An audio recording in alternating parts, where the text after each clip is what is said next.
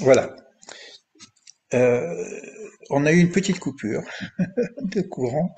Euh, j'étais en train de parler d'un petit texte que j'ai écrit sur Bereshit. Nous sommes dans la paracha de Bereshit. Nous sommes au début de, la Torah.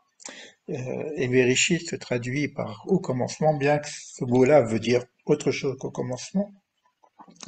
Rachid nous dit que s'il fallait dire au commencement, c'est pas Bereshit, c'est Beatrala.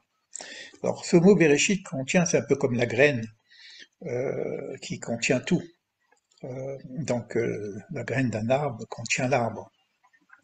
Donc on peut dire que même la première, le premier chapitre de, la Genèse contiendrait tout. Et ce que je disais comme, verbe tout à l'heure, ce qui est à la fin de l'œuvre est au début de la pensée. Sauf mon maasé, mon là. C'est-à-dire que si je, veux savoir quel est le projet, d'un architecte, bah, le projet est déjà dans sa tête, dès le début. Après, il fait un plan. Mais le plan, c'est pas la maison. D'accord? Mais le plan, c'est un plan. Je ne peux pas faire la cuisine sur un plan. Quand la maison est terminée, je sais ce qu'il avait dans son projet au départ. C'est ça l'idée de Bereshit. C'est un texte extrêmement complexe, très concentré, au point où euh, le premier commentaire euh, de Rashi, donc un, des plus grands commentaires que nous avons de la Torah, pose la question, mais pourquoi la Torah commence par le commencement? Par Bereshit, par cette, cette partie-là, qui serait une forme de préhistoire à l'histoire biblique. L'histoire biblique commence avec, si l'histoire biblique c'est l'histoire d'un peuple, peuple hébreu, l'histoire du peuple hébreu proprement dit commence à la sortie d'Égypte. Et c'est écrit dans, la, Torah, c'est écrit que ce mois-ci, le mois de Nissan, qui est le mois de la sortie d'Égypte, sera pour vous le premier des mois. C'est-à-dire que la constitution du peuple d'Israël euh, commence au mois de Nissan avec la fête de Pâques. C'est quoi ce Bereshit? C'est quoi toutes ces introductions? Alors on ne sait pas exactement, il y a beaucoup de discussions là-dessus. Le même Rachid dit, toujours dans ce, commentaire, un deuxième commentaire, je, vais en profiter pour vous dire la, la réponse, parce que la réponse elle est paradoxale. La réponse à la question pourquoi ça commence par le commencement, et c'est très d'actualité d'ailleurs, c'est extraordinaire, euh, parce que les nations viendront nous dire que vous avez spolié cette terre. Je ne sais pas si vous imaginez. C'est que c'est Rashi qui parle, et il ramène, entre, il ramène à Midrash, il vient nous dire que on doit commencer par ce commencement pour que les nations puissent avoir une réponse lorsqu'on reviendra sur notre terre. C'est énorme. Hein et quand il dit, c'est une prophétie pratiquement, les nations viendront nous dire que vous avez spolié cette terre. ça c'est la réponse. Mais après il ajoute, mais non, ce texte demande un approfondissement. Ne restez pas en surface. Alors, alors moi quand j'ai repris Bereshit là, j'étais pas parti pour faire un commentaire sur Bereshit. On en a déjà fait, on a vu qu'il y a beaucoup beaucoup de paradoxes. Euh, je vais vous en donner quand même un pour montrer que deux, pour trois, quatre, cinq. en tout cas, vous voyez que, par exemple, un jour, deux jours, trois jours, quatre jours. Premier jour, deuxième jour, troisième jour. Maintenant, c'est quoi un jour? Or, le quatrième, dix jours, c'est le, moment où on a les planètes, euh, le Soleil et la Lune, et qu'on vient nous dire, ceux-là seront pour vous les signes des fêtes et du temps. Donc le, principe, le principe, et c'est pas encore le temps, le principe du temps est posé en termes de, principe le quatrième jour. Donc un jour c'est quoi? Ça peut être des milliards d'années. Vous comprenez ce que je veux dire? C'est que quand on dit six jours, c'est pas des. Est-ce que c'est des jours terrestres, des jours lunaires, des jours euh, solaires? De quoi on parle? Il n'y a pas encore de soleil. D'accord? De la même façon, le troisième jour, il y a un arbre c'est quoi un arbre s'il n'y a pas de terre? Parce que la terre, elle vient bien après. Donc on, a des questions euh, de fond. Et le, sixième jour, il y a l'homme qui arrive. Création de l'homme. Et lorsqu'on on arrive à l'autre chapitre, on nous dit qu'il n'y a pas d'homme. Il n'y a pas d'arbre, il n'y a pas de parce qu'il n'a pas fait pleuvoir, il n'y a pas d'homme pour cultiver la terre. Mais on venait de le créer l'homme. Donc vous voyez, ça, ce sont des paradoxes énormes qui fait que quand je lis le texte, euh, bah, j'ai l'impression de comprendre, alors on n'y comprend rien. Après, ça va continuer, parce que l'histoire du serpent euh, qui, qui, qui, parle, qui est debout, après qui devient serpent, euh, c'est quoi un serpent qui est debout, qui a des jambes, et de quoi on parle? Donc, et c'est les termes, les, les, verbes utilisés sont différents. Par exemple, dans le premier chapitre, on dit euh, vaivra, on parle du, mot de la beria, de la création. Et ensuite, quand on dit il n'y a pas d'homme, parce que l'homme de la création n'est pas un homme, c'est simplement un plan. Il n'est pas encore constitué, il n'est pas encore incarné. Donc après, on va dire vaïtser. Vaïtser, c'est la formation. Est-ce que c'est l'homme que nous connaissons, c'est rien à voir avec l'homme que nous connaissons. C'est un homme lumière qui est éternel, etc. Et après, il y a eu ce qu'on appelle la faute, et puis à la faute, il y a une chute, ce qu'on appelle l'incarnation de l'homme, qui s'habille de peau, c'est-à-dire de chair exactement, et on arrive à quelque chose qui commence à ressembler à, notre histoire. Mais on pourrait presque dire que toute la partie prédéluvienne, on ne sait pas de quoi ça parle vraiment. Voyez? Et ça, ça s'appelle le commencement. Donc c'est des embryons de choses, etc. Alors moi j'avais écrit un texte, non pas pour euh, vous donner un commentaire sur Bereshit, on pourrait le faire, hein, donc ça va faire, mais ça va nous prendre peut-être une année pour commencer à travailler vraiment sérieusement sur ce texte-là. On va le faire avec des, interviews, on va le faire avec des, euh, comme je l'ai expliqué, où on va reprendre des textes du Zohar, des textes du Bahir, pour pouvoir avancer d'une façon progressive et, et pédagogique euh, sur ces textes qui sont quand même assez fermés. Ceci dit, euh, je voudrais partager avec vous un, écrit, euh, et puis on va dialoguer ensemble sur cet écrit, très, simple, hein, que c'est tout, c'est encore brut de béton. Hein. je, ne vais même pas, je peux, je, vais pas peut-être vous le, vous le peut-être vous le montrer, je sais pas, encore. et il doit être ici. J'espère que je l'ai pas perdu puisque voilà, il est là. Alors, réfléchissez, prenez quelques notes et on discute sur. Je vais vous lire entièrement et puis après on, on, parle de ce texte. Au dit commencement, la volonté divine réduit sa lumière infinie pour être créateur des cieux et de la terre. Et Dieu créa le ciel et la terre. Mais pour cela, il y a une nécessité de, parce qu'il n'y avait que de la lumière, une nécessité de réduction de cette lumière infinie. Dans sa grande bonté, par un retrait de cette lumière infinie, il laisse une place à la création jusqu'à celle de l'humain. Donc je fais vraiment un grand concentré du Tsimsum. Hein. Nous n'avons pas connaissance du pourquoi de la création, sinon celui de la volonté de prodiguer sa lumière. D'où la nécessité d'un réceptacle conscient. Alors moi j'ai rajouté conscient parce que si le réceptacle n'est pas conscient, à quoi ça sert quoi hein Donc euh, d'où l'humain, qui va être un réceptacle conscient. La question qui fait sens serait qu'est cette lumière? On appelle la lumière d'ailleurs la première lumière, il ne s'agit pas de la lumière du soleil, puisque le soleil, comme je vous l'ai dit, il est créé le quatrième jour donc euh, ni la lumière des étoiles, qui sont créées le quatrième jour, le, dix jours en tout cas. La notion, la notion, le principe du jour.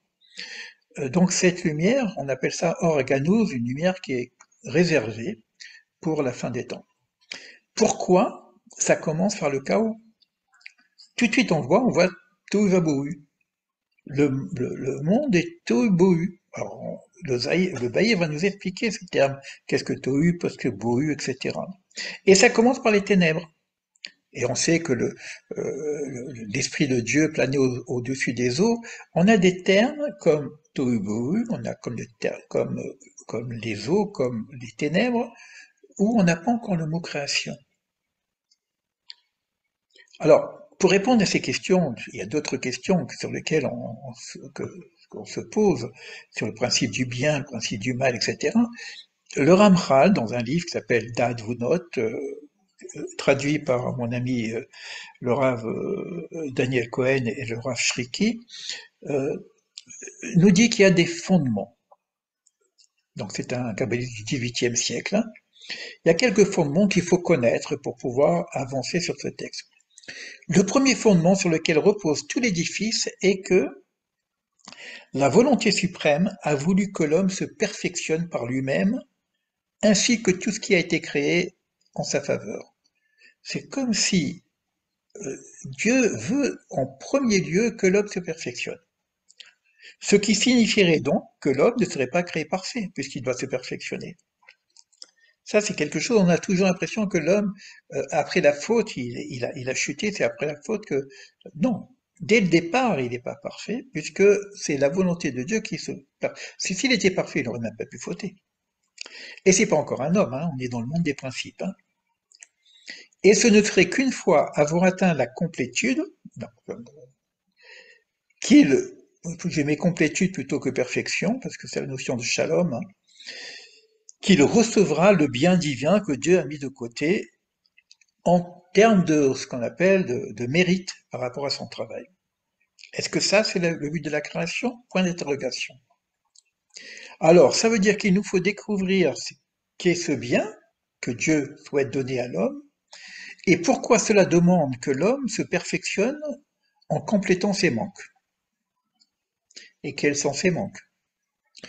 Ça, c'est le premier fondement. Le deuxième fondement, c'est la liberté de choix. Je mets devant toi la vie et la mort. Choisis la vie. On sait que, Dieu crée un homme libre. Euh, nous devons plus dire euh, je mets devant toi le bien et le mal. Choisis le bien. Donc il y aura quand même une indication, une proposition, une invitation. Pour cela, donc l'homme est donc créé par deux tendances. Une tendance du bien et une tendance du mal. On ne sait pas encore qu'est-ce que c'est ce bien et qu'est-ce que c'est ce mal dans ces mondes des principes. Ça n'a rien à voir avec notre situation actuelle, où on peut parler du bien et du mal, mais quand on parle du bien et du mal ontologique, on parle d'autre chose. En tout cas, du fait de cette liberté, l'homme pourrait prendre un mauvais chemin et s'écarter du bien souhaite lui, que Dieu souhaite lui prodiguer.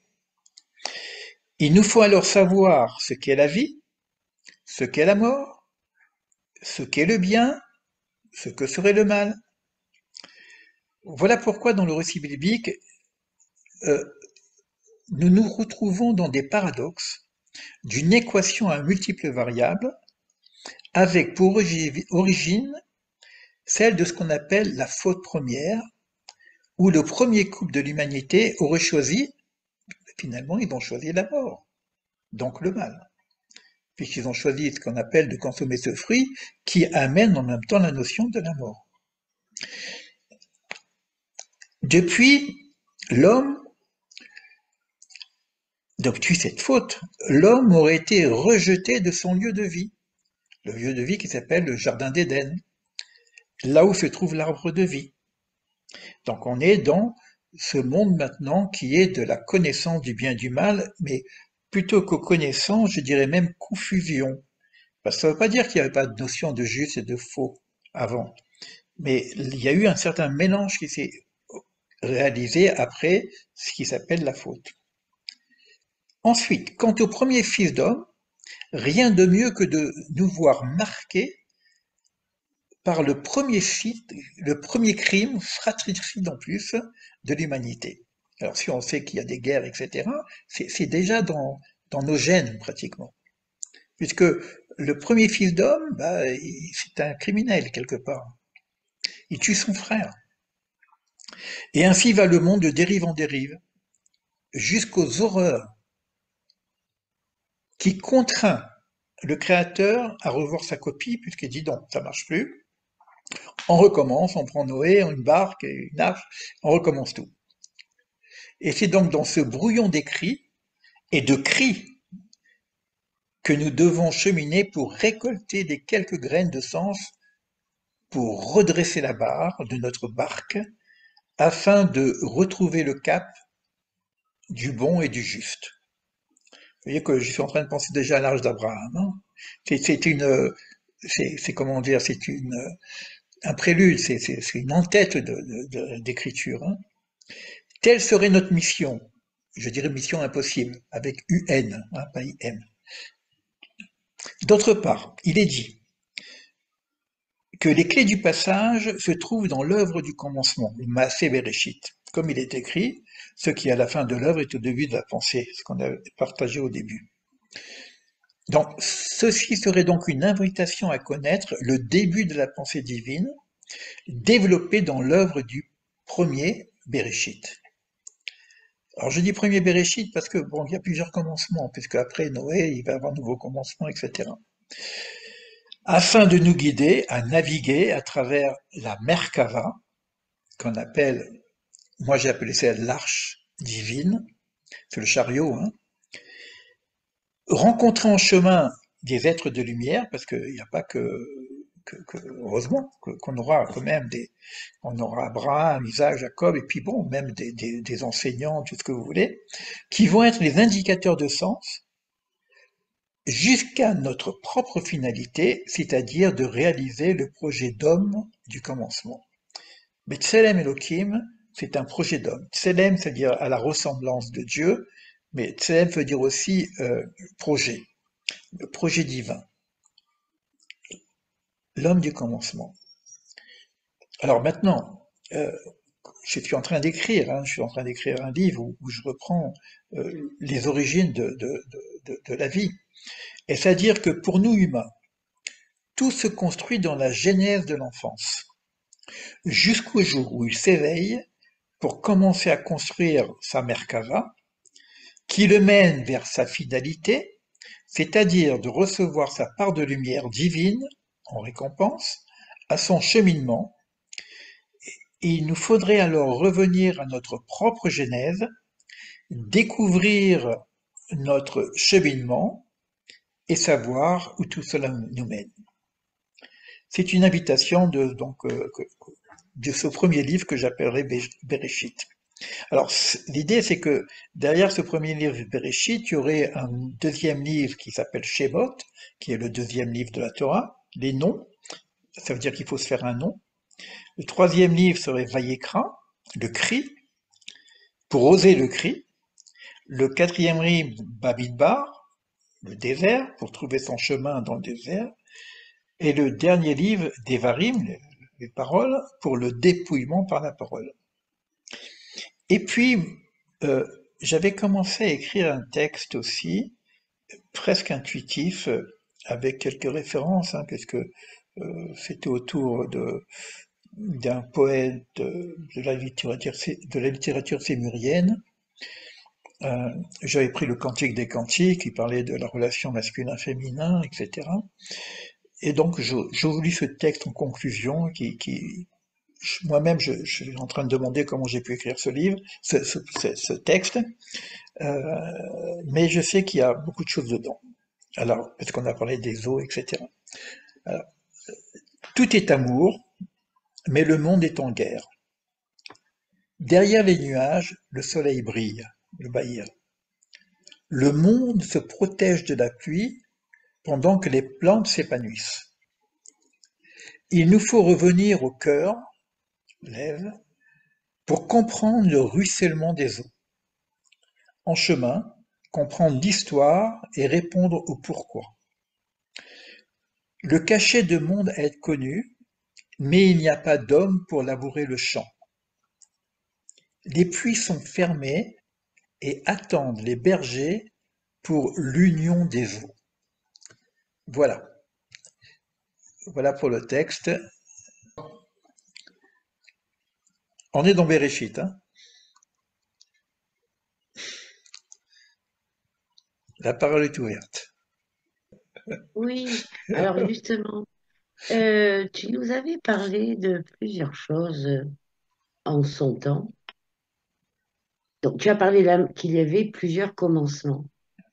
Cependant, avant le Bereshit, premier mot de la Torah, tu nous avais dit qu'il y en avait un autre déjà de commencement. C'est pas un commencement. C'est pas une notion de commencement. Parce que le commencement, je dirais que le commencement vient bien après. Si on parle de commencement pour nous, ça dépend de quoi on parle. Il y a quatre mondes, il y a cinq mondes, quatre mondes. Il y a quelque chose avant Bereshit qui est la pensée divine, Atzilut. Après, il y a Bereshit qui est la création, c'est le monde de la création. Après, il y a la, formation de l'homme. C'est pour qu'il y a plusieurs commencements, on pourrait dire, parce qu'on voit bien que déjà, il y a deux passages de la création de l'homme lui-même. D'accord? Donc, euh, est-ce qu'il y a quelque chose avant Bereshit, chose qu'on n'a pas dans le texte, mais qu'on va retrouver soit dans le, le Soum, par exemple, dont j'ai parlé là? Il n'est pas explicité dans le texte. On ne voit pas le retrait divin, etc. Cette notion de ténèbres, d'où elle vient? Euh, il n'y a pas que Dieu crée. Il y a une, notion qui, est bien après, qui s'appelle créer le mal. Mais c'est pas le mal dont nous parlons nous. C'est le mal ontologique, qui n'a rien à voir avec le mal que nous connaissons. Alors, c'est, soit je parle des, mondes, il y a une forme de chalchelet, d'émanation progressive qui nous amène à notre monde, une forme de, de concrétisation de, euh, jusqu'à ce que nous sommes nous, dans le monde de la Afia, dans notre monde. Euh, c'est, comme des, des nouvelles créations, aujourd'hui. Bien que ça soit, il y a, y a, une lignée, quoi. Hein. Le problème qu'on a, c'est le français quand on dit création, donc euh, création, c'est création. Nous, on a une idée de la création, mais le mot beria, qui s'appelle création en hébreu, n'a rien à voir avec notre création. Il n'y a pas de. Nous, on peut pas créer. On peut rien créer. Nous formons, nous transformons les choses créées déjà. Vous voyez, tu vois. Oui. Mais cependant, tu avais dit que si ça commençait par un bête, oui, c'est qu'il y avait une antériorité l'antériorité du monde de la création, c'est le monde de l'émanation, Atzilut. On n'en parle pas beaucoup, mais quand on, travaille sur l'arbre de vie, des choses comme ça, il s'agit d'un monde d'avant la création. C'est pas la, oui, on va dire c'est le monde de la pensée, par exemple. Hein, prenez un architecte. Mm. Il a eu d'abord une pensée. Mm. D'accord? Et après, il va faire un plan. Donc, il, y a, il met sa pensée sur un plan. Le plan n'est pas la création, mais ça s'appelle création. C'est ça la création. Après, il va former, il va mettre des matériaux. Il va, euh, donc on est dans la formation. Et après, la maison est faite. Au moment où la maison est faite, ça s'appelle le monde du faire, le monde de l'action. Mm. Donc on a plusieurs niveaux. Euh, c'est pour ça que quand, on lit le texte Bereshit, il est très important de savoir qu'il y a déjà ces, quatre niveaux. Sinon, on comprend rien. Donc il y a le mot Beria pour l'homme, et après il n'y a plus d'homme. Bah, comment il n'y a plus d'homme Mais non, le monde de la Beria n'est pas l'homme encore. C'est le, c'est le plan c'est le projet tel que Betselem Elohim, selon le projet. Après, il y a Vayetcher Adam, Yetzera, le monde de Yetzera. Est-ce que c'est nous? C'est pas encore nous. C'est déjà euh, l'idée d'humanité. C'est, on, est, on est loin, loin de la notion de l'homme de Cro-Magnon et compagnie. C'est, euh, donc, c'est, c'est une relecture complète qu'il faut faire. Euh, est-ce que je peux intervenir, Elie? Oui, oui, oui, bien sûr. Euh, dans ce monde d'Azilut, d'Atsilut, hmm. Est-ce qu'on peut imaginer qu'il y avait déjà une organisation que je vais appeler céleste? Et est-ce qu'il ne s'est pas créé déjà dans ce monde une erreur qui nous a été transmise? Il y a, il y a- il y a- il y a- il y a une volonté divine Oui, qui met en place les principes. Euh, si, dans, dans le, le, monde de la et le monde de l'émanation, c'est-à-dire cette notion de Dieu, à la limite, c'est la lumière infinie. Et cette lumière infinie n'a pas de nom. On ne sait pas ce que c'est. On ne peut pas en parler vraiment.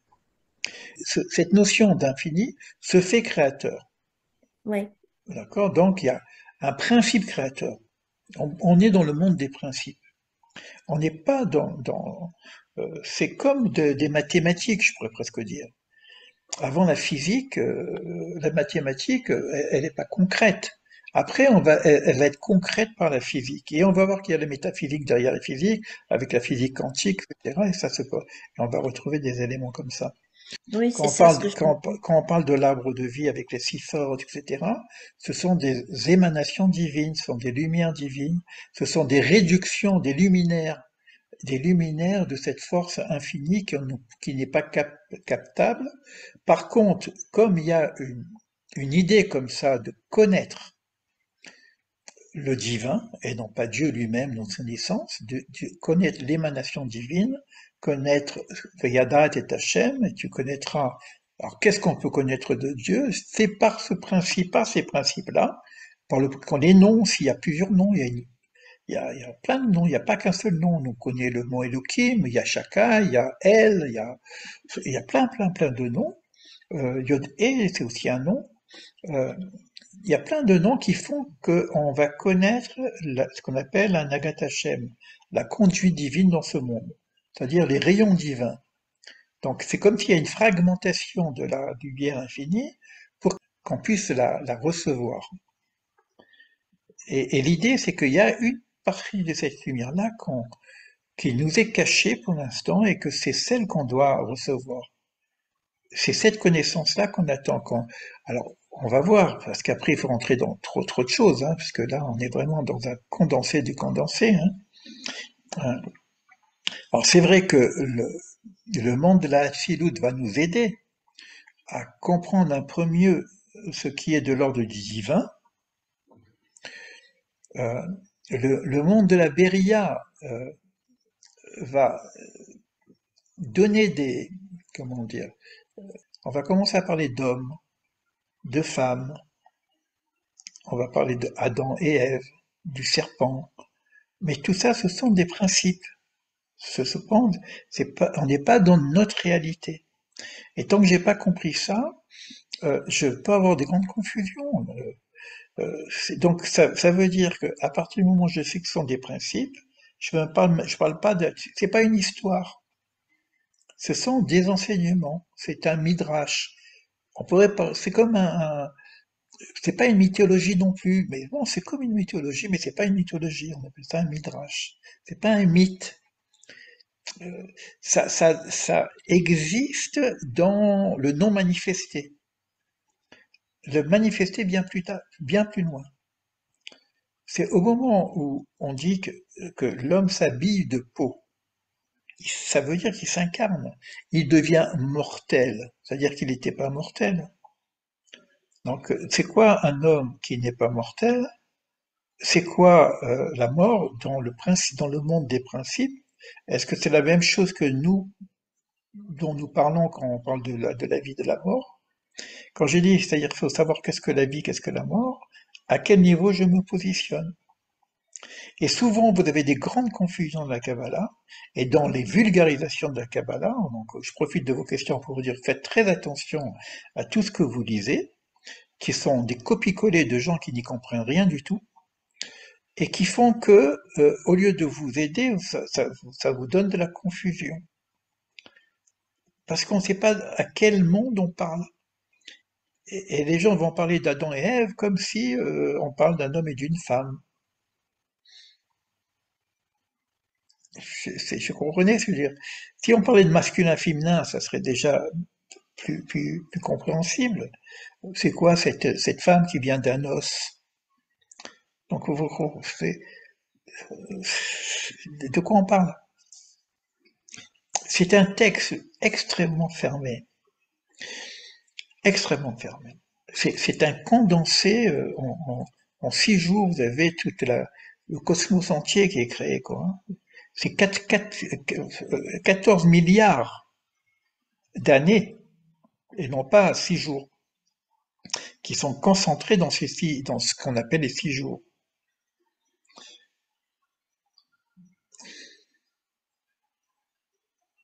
On s'embrouille, c'est normal. Hein. Vous voyez, euh, quand je vois ça, je dis bon, je. Mais finalement, pardon, excuse-moi. Comment peut-on concevoir l'Adam édénique Voilà. comment? Qu'est-ce que c'est que qu'est-ce que c'est que cet Adam dans le jardin d'Éden? Ça, ça, euh, on n'a pas d'idée. déjà, c'est un homme lumière. Il n'est pas il, pas encore, il est pas encore corporel. C'est comme, c'est comme quand on voit par exemple Adam Kadmon. C'est quoi Adam Kadmon Ce sont des, c'est l'arbre de vie. Hein. Ce sont des branches avec des luminaires. Si vous imaginez, à la limite, à la limite, hein, là vraiment on spécule, hein, comment on peut voir Adam, le premier homme de Bereshit, hein, je parle, parce qu'il y a, l'homme de la Béria et l'homme de la Yeshira, maintenant vous avez compris. Prenez le, la, Bible, hein, le, deuxième chapitre, il n'y a pas d'homme. Donc je peux le prendre tout de suite, hein, comme ça au moins ça c'est plus clair pour vous. Alors vous savez que le sixième jour, l'homme est créé, et tous les produits des champs n'étaient pas, restent dans la terre, Vechol et et tous les, les herbes ne poussaient pas encore, qui L'eau yimtir Hachem Elohim, car il n'a pas fait pleuvoir à l'arrêt, Ve Adam et l'homme n'est pas. Il n'y a pas d'homme pour travailler la terre. Et juste après, qu'est-ce qu'on a Donc il euh, va yetzer Hachem Elohim et Adam. Et donc, l'homme, Yetzira, c'est une création aussi. Hein Aujourd'hui, quand vous parlez de Vaïtcher, on peut dire il crée. Mais là, on va le traduire par il forme ou il façonna euh, l'homme de la terre. Et il lui insuffle une, euh, dans ses narines un souffle de vie. Alors, et le premier, c'était pas comme ça. On n'a pas du tout parlé de ça. Donc on a deux fabrications, deux, deux présentations de le premier, Betselem et Kim, alors, maintenant, par rapport à ta question, Bernadette, si je prends euh, l'image d'Adam Kadmon, c'est Adam principiel, donc avant Adam Arishon, c'est l'arbre de vie, c'est l'arbre de Hatfilut, mais ça s'appelle Adam aussi. Alors, on a, on a on a dessiné quelque chose pour nous faire une idée, mais c'est c'est pas ça, on sait pas ce que c'est vraiment. C'est des luminaires, etc. Bon, on a dessiné euh, des, des, bulles comme ça, des, des lampadaires euh, qui vont représenter les luminaires de la Dame Canoine. D'accord? Après, on a l'homme de la Beria, l'homme de l'Ephira, et puis l'homme que nous sommes après la, après la chute. Est-ce que le premier homme nous ressemblerait plus que nous, avec notre chair, ou est-ce que ça ressemble plus à la Dame Canbonne Je préférerais dire que on est dans, dans un monde de lumière euh, totalement métaphysique, quantique, pourrait presque dire, euh, avant euh, la manifestation humaine, l'incarnation humaine.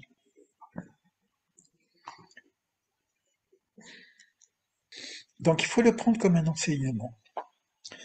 Il faut oublier la forme, que la forme n'existe pas encore puisque la forme vient avec Yetzira. La formation, la forme, et elle arrive après. Donc dans la Beria, il n'y a pas de forme. Donc ça veut dire que je dois étudier ce texte-là comme le monde des principes et quel signifiant il y a euh, qu'est-ce que ça veut, vient nous dire? Qu'est-ce que j'apprends par là? Et à quoi ça pourrait me servir, moi, en tant qu'humain? Euh, Qu'est-ce que j'apprends par là? Je peux apprendre des leçons de morale, euh, mais je peux aussi apprendre toute la métaphysique. Et c'est ça qui est le plus intéressant, c'est pas qu'est-ce qui est... Il n'y a pas de réel. Je ne peux pas dire qu'est-ce qui est réel. Il n'y a pas de réel encore, le réel n'existe pas encore. Et c'est pour ça que je vous dis qu'il y a beaucoup de confusion. Pourquoi? Parce que la plupart des gens, ils, lisent le texte et, quand on dit Adam, ils voient un homme. le principe de, crime, par exemple, qu'un tue Abel, euh, c'est le principe qui fait que l'humanité, elle est porteuse, elle est est, elle est porteuse de fautes, puisque ça va être les gènes. Donc le, le, principe de qu'un qui tue à son frère, c'est le principe que nous vivons aujourd'hui. C'est pour ça que j'ai de dérive en dérive, on arrive aux guerres qu'on a aujourd'hui. Où de toute façon, on veut tuer l'autre. On ne, veut, on ne peut pas accepter. Et Israël va représenter un petit peu cet élément qu'on veut détruire. Euh, parce que il, il prend trop de place. Cette petite virgule là, comme ça dans le monde, euh, je sais pas moi, de, dernière fois je regarde l'Afrique, tu vois, où, j'arrive pas à savoir où est Israël tellement c'est petit, on le voit même pas quoi, entre l'Afrique et l'Asie, où, où est et ça on n'en veut pas. En tout cas, on ne veut pas de ses habitants. Donc euh, c'est le principe de Cain c'est-à-dire que la racine, la racine du mal. Alors, mais tout à l'heure je crois que c'est Maria qui posé la question des erreurs. Alors, il y a d'autres choses qui sont dans le monde d'avant la création, qu'on appelle la brisure des vases, par exemple, qui sont aussi à la racine du mal. Et c'est quoi cette brisure du vase? Nous, on n'est pas là. Il n'y a même pas d'homme, il n'y a même pas d'homme à Richon, il n'y a, il a personne. Il n'y a même pas encore la création. Il y a, avant tout, tout ça, il y a des forces, des lumières, comme des, on va prendre des, trous noirs, des choses comme ça. Vous regardez ce qui se passe dans le monde de, euh, l'astrophysique, euh, on ne sait pas. Euh, voilà, donc il y a, a que ça. Et il y a des explosions. Il y a des explosions, des explosions que vous voyez dans, le cosmos, bah, c'est ce qu'on appelle le Shiratakili. la structure de base, elle tient pas, elle peut pas contenir la lumière. Elle explose. Et le, ce qui va venir va être les particules, euh, ces particules d'étoiles finalement. C'est pour ça qu'on est des, euh, des poussières d'étoiles. Euh, c'est des particules comme ça qui doivent se reconstituer pour commencer à, à réorganiser le monde. Le monde est tout va beau. C'est euh, une espèce de Big Bang divin alors. C'est le Big Bang divin, oui, oui, c'est le Big Bang. Alors dans, dans cette notion-là, alors, ça, nous apprend quoi? Alors, c'est la racine du mal. Alors, en quoi je peux mettre la racine du mal dans la brisure des vases? La façon dont c'est expliqué vient nous dire que ce sont des récipients, donc des créatures, mais pas, rien à voir avec nous, euh, qui recevaient la lumière, mais qui la redistribuaient pas. Donc ils ont explosé. Ça veut dire que l'humain qui reçoit et qui redistribue pas, il, explose aussi quelque part. C'est-à-dire que la notion du mal, c'est de recevoir sans redonner. En termes de principe. Recevoir pour recevoir, c'est ça le mal. Recevoir pour donner, c'est ça le bien on retrouve dans la cabale du, Ravashlag ces idées-là qui, viennent nous expliquer euh, euh, d'une façon ontologique le, monde des valeurs. Parce que les séphirotes, c'est des valeurs. Amour, Gvura, Tiferet, tout ça, ce sont des valeurs, ce qu'on appelle les attributs divins, que nous allons retrouver chez nous. C'est pour ça que l'homme que nous sommes aujourd'hui, au niveau de la structure, ressemble au monde des principes. Le visage ressemble au monde des principes. Les orifices, etc. Masculin, féminin, ça ressemble, au monde des principes. C'est-à-dire qu'aujourd'hui, on a des hommes et des femmes, on a le ciel et la terre, on a le plus et le moins, ça ressemble au monde des principes. Alors, il y aura plusieurs façons d'aborder ces textes-là soit par la Kabbale, comme le Zohar, etc., mais comme c'est un peu hermétique, on s'y perd aussi, soit par la science, mais comme c'est aussi euh, hermétique, euh, donc il va falloir arriver à décoder intelligemment pour que ça soit audible et qu'on y comprenne quelque chose faire de la cabale pour la cabale, avec euh, la relation entre les etc., et que les gens y parlent. Moi, je vois des, je sais pas si, à quoi ça sert, quoi. Par contre, si ça, si ça m'apporte quelque chose dans mon monde à moi, au niveau de mon attitude, de mon comportement, de mon évolution, oui. Donc quand j'ai pris ce texte-là que j'ai écrit comme ça, de façon assez rapide, j'ai mis un peu les fondations, les fondements.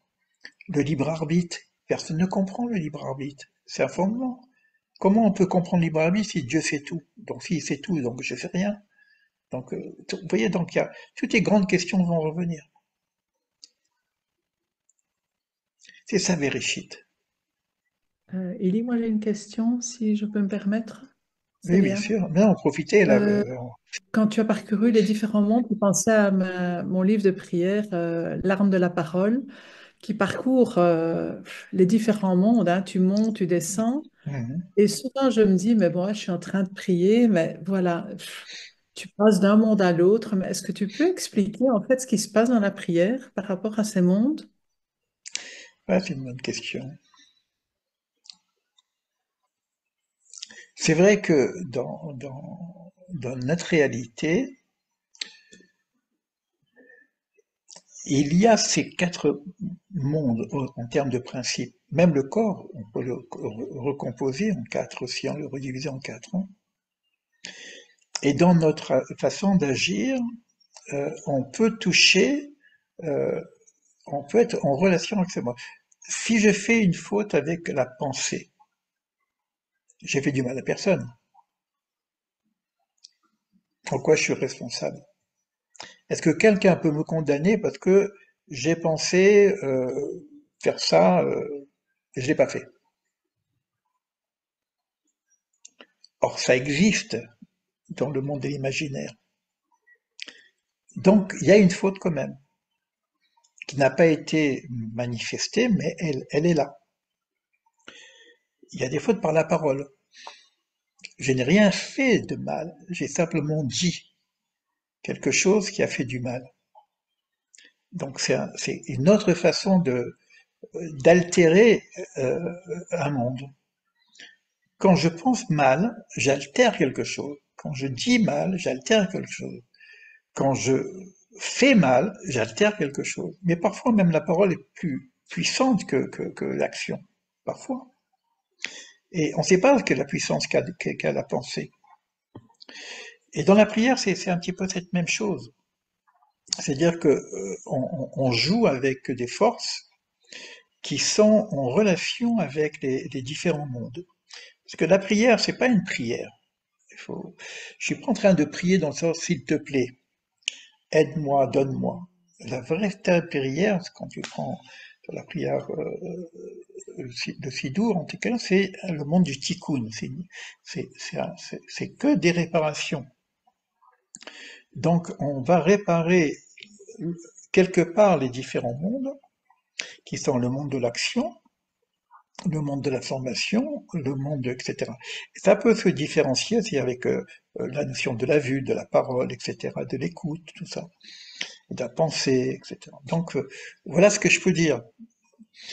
Parce que les, les mots qui sont choisis, les phrases qui sont choisies, euh, sont faits par ces, sages qui connaissent un petit peu euh, ce dont on parle et qui ont mis en place des. C'est pour ça qu'il y a plusieurs répétitions.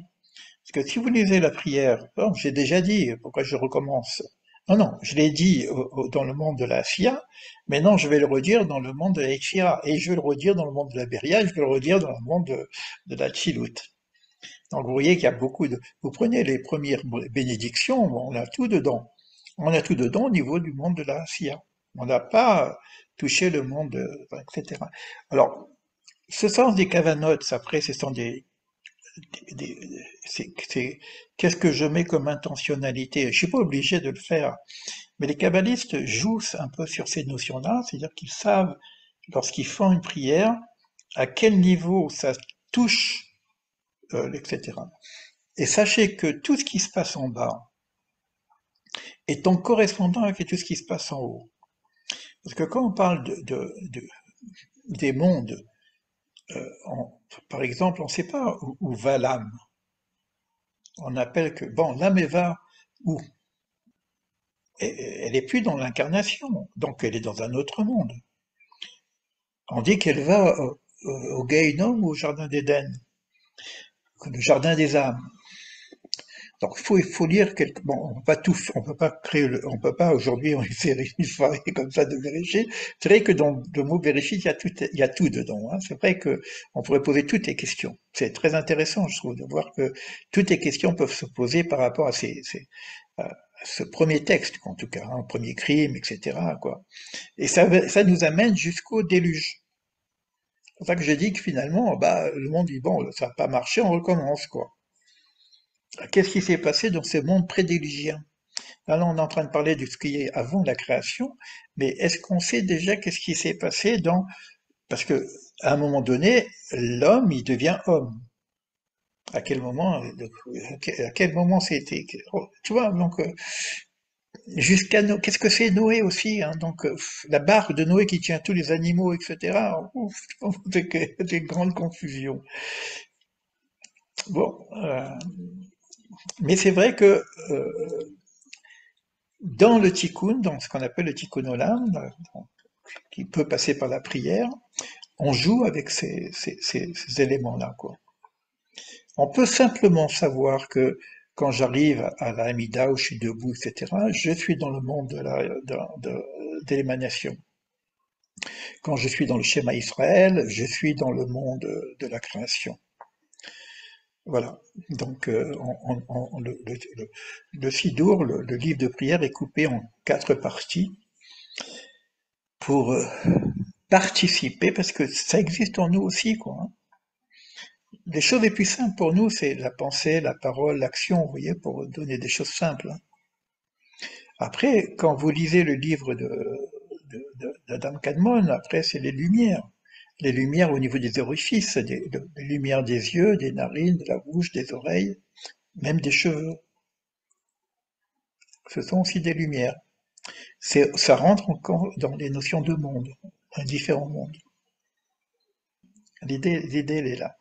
Donc c'est pas que dans la prière. Hein. Vous voyez qu'on va même dans le vêtement, c'est dans les téphilines. Donc on met les téphilines ici, les téphilines dans le bras. Donc on est aussi en rapport avec les mondes. On est là, là dans la, question de ce qu'on appelle le tikkun une réparation universelle. Merci. Je ne peux pas tout, dire parce que d'abord je ne sais pas tout, et puis c'est vrai que c'est complexe, c'est pas évident. Hein. Mais bon, vous voyez, c'est intéressant comme ce qu'on fait là ensemble, c'est que on est en train de parler de quelque chose qui nous dépasse quelque part, et on voit qu'il y a tout qui est dans, que tout est concentré là-dedans. Hein. La, première faute, on ne sait pas vraiment ce que c'est. Euh, il y a une histoire de sexualité aussi là-dedans.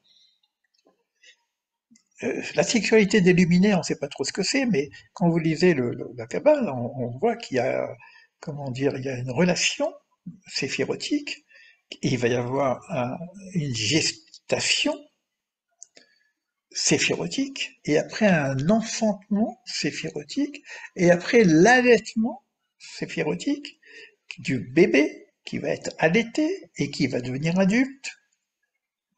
C'est, on reprend la création des mondes de la même façon qu'une femme, euh, un homme, une femme se rencontrent, euh, ont une relation, et une gestation, un enfantement, un allaitement le, ce que le Sod le, le, secret de la gestation, le secret du temps aussi, c'est la même chose, le secret du masculin-féminin, du cercle de la droite, tout ça c'est la même chose, c'est là-dedans. Et quand nous sommes aujourd'hui constitués, qu'est-ce qui se passe? Un homme rencontre une femme, il y a un désir qui se met en place, des fois il n'y a pas le désir, et des choses qu'il n'y a pas de désir, ça on en parle dans les séphirotes, des fois, il n'y a pas le désir, parce que la mariée n'est pas belle. Mais le problème, que la mariée n'est pas belle, c'est l'homme qui doit la, rendre belle. C'est quoi le féminin qui rend qui, commence C'est quoi C'est la poule ou c'est l'œuf Vous donc, euh, donc il y a quelque chose qui fonctionne, il y a quelque chose qui fonctionne pas. Euh, c'est pour ça que euh, parlait d'erreur, comme de, brisure des vases. Il y a des fois ça fonctionne pas, et des fois ça fonctionne. C'est-à-dire que l'homme aujourd'hui en bas, lui, quand on parle du tikkun olam, Ça aussi, c'est quelque chose de puissant, je trouve, parce que quand je fais tchouva, j'ai fait une faute, ben je regrette, je répare ma faute. Ça, je suis conscient de ma faute. Et c'est vrai j'ai fauté, bon, j'ai fait des bêtises, bon, je, répare. Mais comment je fais pour réparer une faute qui n'est pas, qui vient pas de moi? Alors, quelqu'un, quelqu'un d'autre a fait une faute, un homme a fait une faute, hmm, un, proche, un ami, on peut réparer, on sait de quoi on parle. Mais réparer euh, le monde divin, de quoi on parle? La brisure des vases, la faute d'Adam Arishon, on est dans le monde des principes. Qu'est-ce que j'ai fait moi pour réparer la faute d'Adam? Donc on ne sait pas. Maintenant, quand on voit que Cain tue Abel, ah oui, il y a un crime de deux frères. On a une idée. Parce que Dieu lui dit, qu'est-ce que tu as fait? Et il dit, oh, oh, oh, moi je suis pas le gardien de mon frère. C'est pas mon problème, c'est toi qui m'as fait comme ça, moi je suis pas le gardien de mon frère. Et là, on a, on a une clé. La clé, c'est quoi? Je suis le gardien de mon frère. Dans ce monde-ci, je suis le Je ne dois pas simplement me préserver, je suis le gardien de mon frère. Pour Adam Arishon, qu'est-ce qu'on a comme mot? On n'a pas grand-chose. Mais il a fait quelque chose de concret. Et là, ça va nous donner un enseignement. Qu'est-ce que tu as fait? Qu'est-ce qu'il répond? C'est pas moi, c'est toi, c'est la femme que tu m'as donnée. Moi, euh, moi, comment? Ben, t'es responsable, mon pote. Euh, qu'est-ce qu'il répond? C'est pas moi, c'est la femme qui m'a. Et la femme, qu'est-ce qu'elle dit? C'est pas moi, c'est le serpent. C'est la responsabilité. Donc, on a dans ce monde des principes, des principes de valeurs, comme la responsabilité, comme la fraternité, qui sont à construire, à reconstruire.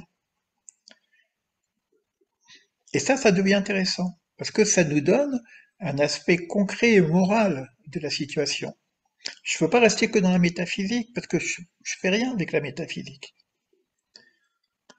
Donc l'enseignement doit nous ramener aussi à des valeurs humaines. C'est pour ça que les séphirotes, on va les, utiliser comme des attributs divins et comme des valeurs. C'est bon, ça va? Alors, on, joue un petit peu, c'est comme un puzzle qu'on on prend des petits morceaux, on, essaie de reconstituer. Au, moins, on sait que si, si c'est pas clair, c'est bien. On sait qu'on on est devant quelque chose, euh, euh, ce qu'on appelle indicible. Et, l'idée de tout ça, quand, moi je lis le, le Ramchal, je suis Viadat et Hachem. C'est comme un commandement. C'est comme si Dieu dit maintenant il faut que tu me connaisses. Mais que je ne peux pas te connaître, c'est de l'infini. Non, non, non.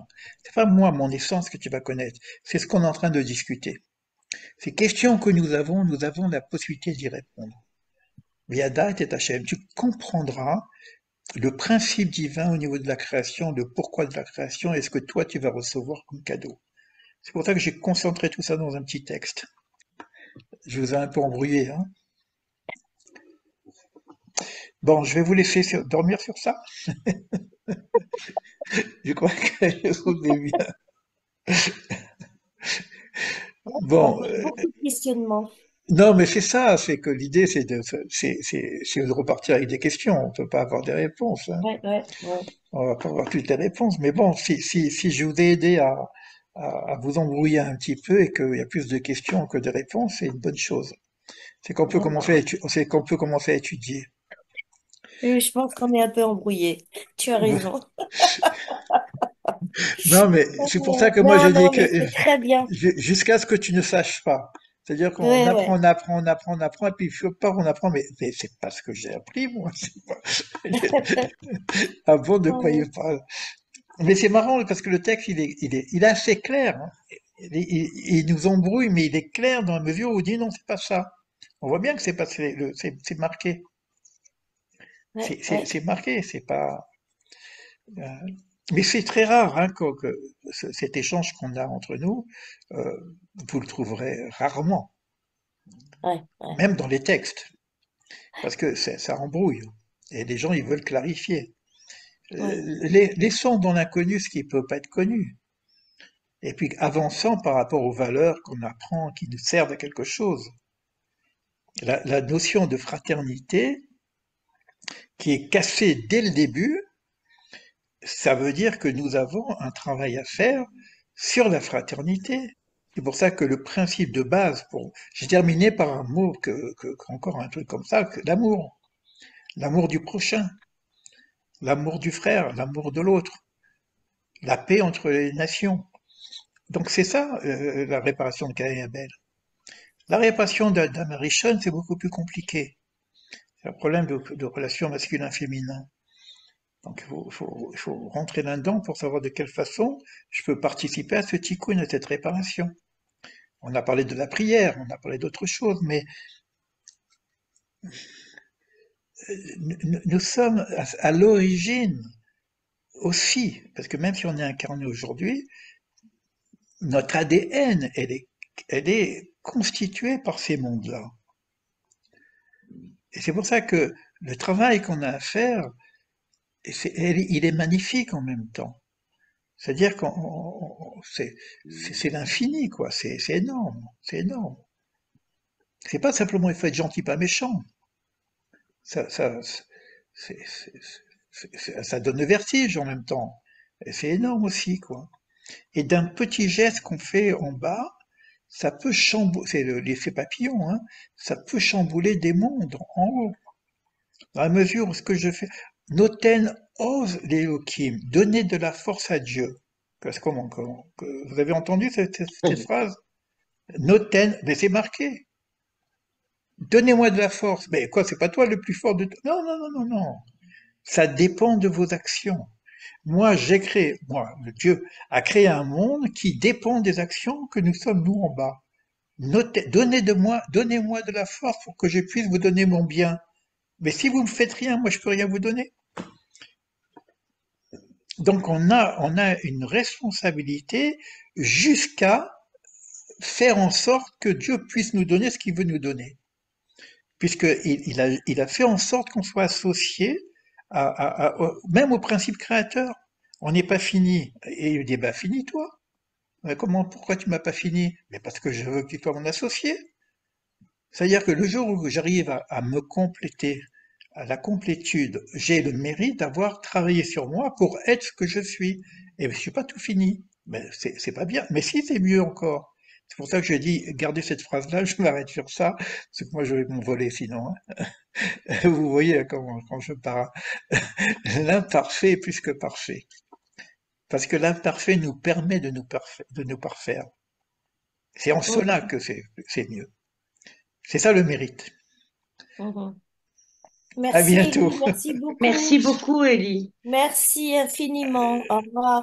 Allez, au, revoir, à, bientôt. tous. Au revoir. Au revoir à tous. Alors, je vais couper ça. Je ne sais même plus comment on coupe. Suspendre. Au revoir. à bientôt. Au revoir à tous.